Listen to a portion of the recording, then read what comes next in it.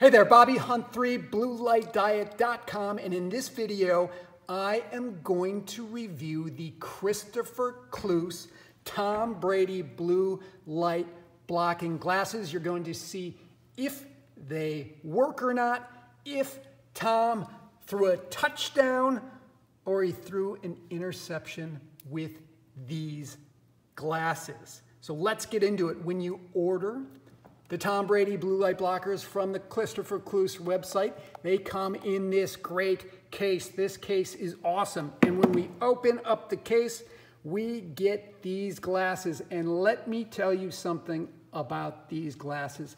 These frames are handmade and they are the best blue light blocking frames I have ever put on in my entire life. They are heavy, they are thick, they are smooth, they fit well, they just feel good. I have never worn a better pair of frames, so I can guarantee you one thing. If you order glasses from Christopher Cloos, their frames are fantastic. Okay, now let's talk about these lenses and let's measure to see if they actually block blue light.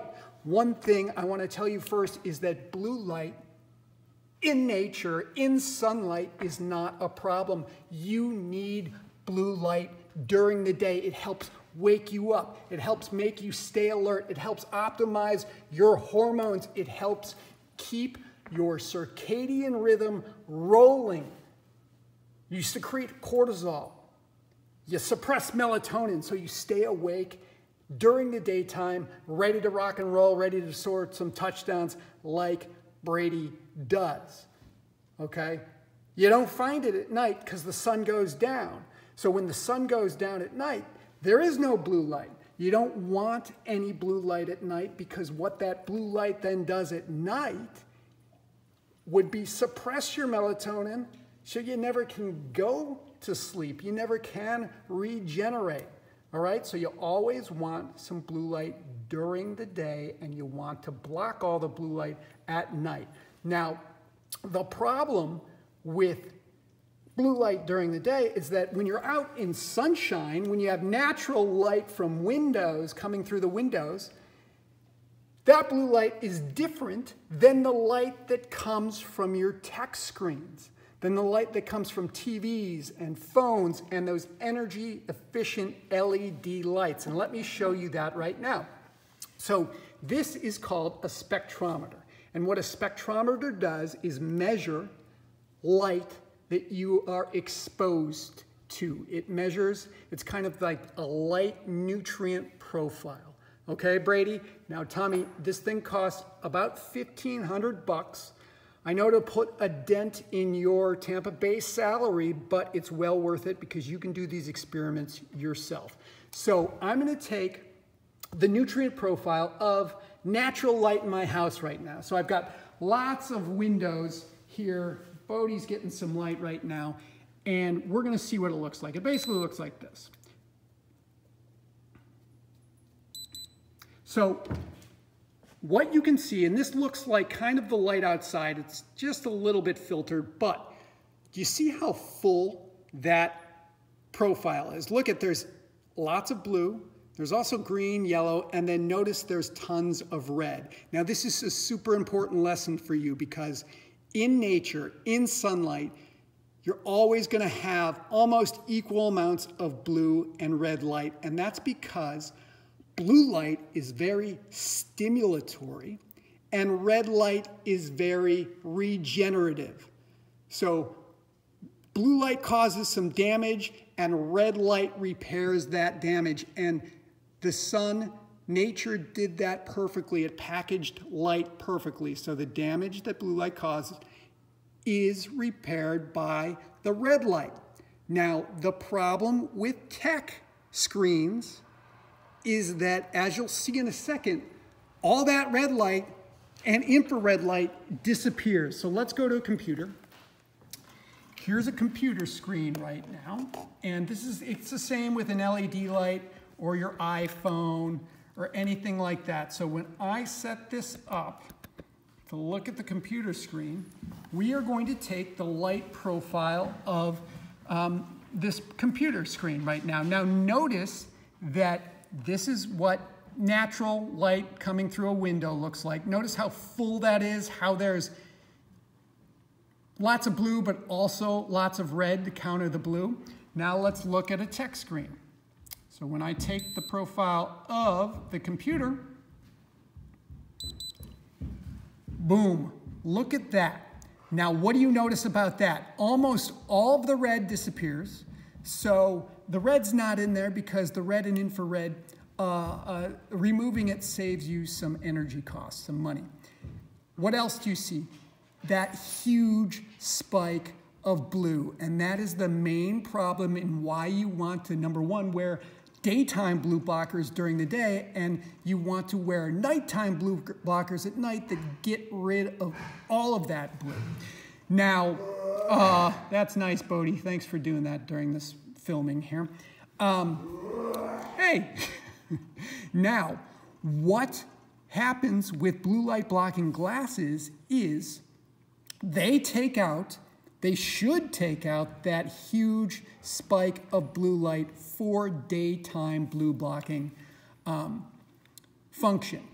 Because that spike is like a giant lineman sacking Brady and then poking you in the eye with his blue light finger. And why is that? Well, because it's something called blue light toxicity. And blue light toxicity comes in the range of about, let's see here. As we can, as you can see, right there, 410 nanometers it starts, and then you see where it peaks? It peaks in the 430, 440, 450 nanometer range. So that's right where this spike is on most tech screens. See that big spike? That's right around 440, 450 nanometers. That's where the most toxic part of the blue light is. That's the blue light hazard. Okay, so let's see if Tom Brady's blue light blocking glasses protect you from the blue light hazard. So here's the spike. And we these are Tom Brady's glasses. So when we take these glasses and you put them on and you watch the computer, you're watching the computer that has that big spike, we'll see if that big spike disappears. It should be disappearing if these glasses work.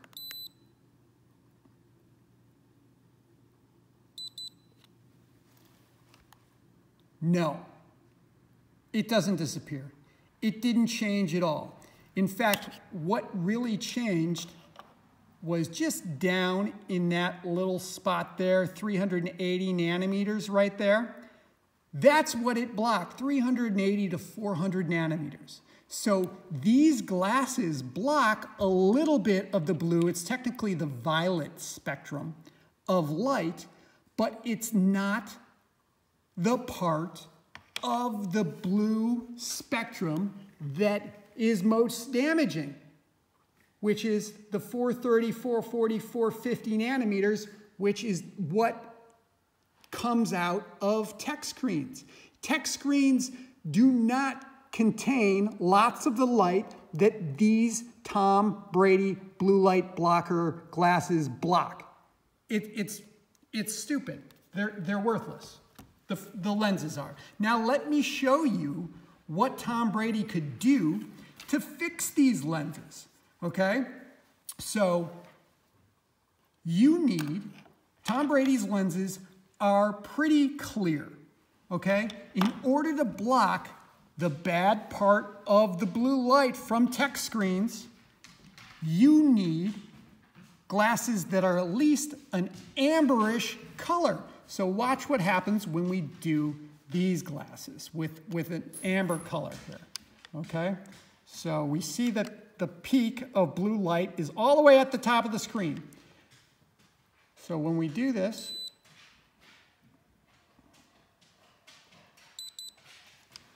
these glasses, look at how they have reduced that peak of bad blue light there. And that's what you want if you're inside during the daytime looking at tech. You don't want to block all of the blue light, but you want to reduce that blue light spike enough. You can even go a little bit crazier with yellow lenses for the daytime. And if we see what yellow does, yellow will take out most of that blue light spike. So if you're surrounded by lots of tech, then yellow might be something you want to do because it comes in, it starts to let blue light in right about 470 nanometers. And again, you look at that, and that's right after the danger zone. The dangers have gone away. Now, at nighttime, you never want to wear Tom Brady's glasses. You never want to wear yellow or even the kind of the amber lens glasses because at nighttime, you don't want to see any blue light at all because what does blue light do at nighttime? Well, at nighttime, that blue light suppresses your melatonin. So right here, right there is the action spectrum for melatonin suppression. As, as you can see, right about that 464 nanometer mark, right in the middle of blue light, is what suppresses your melatonin the most. And you need melatonin for sleep, rest, and regeneration at night. So we see melatonin doesn't start to stop being suppressed until right around the 520 nanometer mark, and then it pretty much goes away at 550. So for nighttime, these blue blockers don't block anywhere near that much. The Tom Brady's don't. And neither do the yellows. What you need at nighttime in order to be in that safe um, range you need a pair of blue blockers that are orange to red in color. Okay, so I'm gonna show you what happens when you do orange and red blue blockers at nighttime. So if we set this up here, here's the wavelength, remember, okay? So it's 450, you wanna get rid of all that, okay? And you want a lot of it up to about 530 nanometers right there, so a little bit in the green. We want all that to disappear at nighttime because that comes right about here, and that means that when you block that light, your melatonin is not being suppressed. So when you put on these glasses at nighttime, an orangish reddish color lens, we find that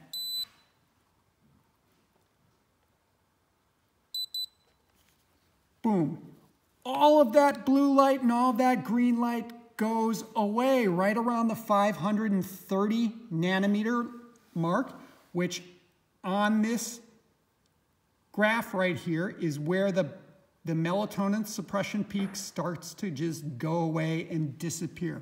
So the moral of the story is, number one, Tom Brady you didn't just throw an interception, you threw a pick six with these lenses. It wasn't even a pick six, it was a pick six in the Super Bowl on the last play of the game when you were up by five points to lose the Super Bowl. So you need to change these lenses. They simply do not block the blue light that matters to you. Specifically at nighttime, they block none of the blue light.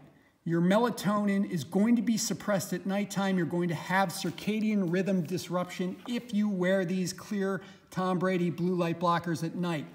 If you wear them in the daytime, you still are going to get blue light toxicity because they do not block the part of the spectrum that matters. They block some of that stuff down here, which doesn't really matter too much at all. So Brady, what you need to do, or actually have Gisele do it, she's a little more into health than you and probably a little more thorough too, is you need to turn these lenses, these clear lenses, you need to make them amber for daytime use. And then for nighttime, you should offer a nighttime pair of these as well because these are fantastic frames. You need to use an orange or a red lens or a reddish orange lens. Okay, so this, unfortunately, has been a bad review for the Cloos Tom Brady blue light blocking lenses. As you've seen, they don't work. They don't block the blue light that they're supposed to block. But they are great, fantastic frames. And if Tom, if you change these lenses, I will take this review down and re-review your lenses. But again, you can do this, and you're probably as mad as you look right there in the picture right now. You can do this yourself with a spectrometer. You can see that I'm not just giving you crap here because you are the greatest quarterback of all time. And that's hard to say because I thought Dan Marino forever was the greatest quarterback of all time. But in terms of blue blocker glasses, big time interception, big time pick six. You need to update these lenses. This has been Bobby Hunt 3, bluelightdiet.com. This has been the review of the Tom Brady blue light blocking glasses. You can find great glasses on my blog at bluelightdiet.com. You can also take a blue light toxicity test right on my website that will estimate how blue light toxic you are. All right, have a good day.